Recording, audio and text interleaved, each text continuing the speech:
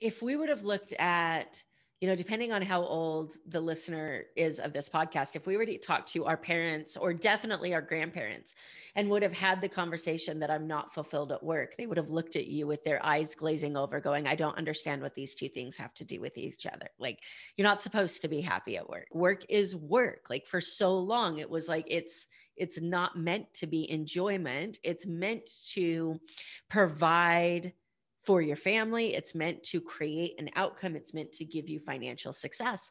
And then, you know, with the millennial generation and then coming into whatever this generation is now, I lost track. Um, we have shifted to okay, you can have both. Like, why do I have to sacrifice my my fulfillment and my happiness?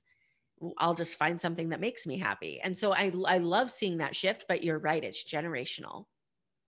Yeah, and it's funny like you know, I think the purpose of work used to be like to appreciate the weekends, right? Yeah. And, yeah. and it's funny my, my, so my father had it in his head that my perfect career was going to be if i was a teacher because they get 12 because you get the summers off right yeah vacation a year. Summers off 12 weeks of vacation a year. That is the ideal life to live. Be a teacher. So, or you can just build a life you don't need a vacation from